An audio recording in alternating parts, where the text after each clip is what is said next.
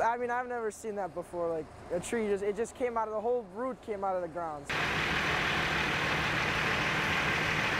We kind of heard a gust of wind that came up quick and we decided, my uncle decided that we all go in the basement and as we went in the basement, we heard the big thump and the tree fall on the house.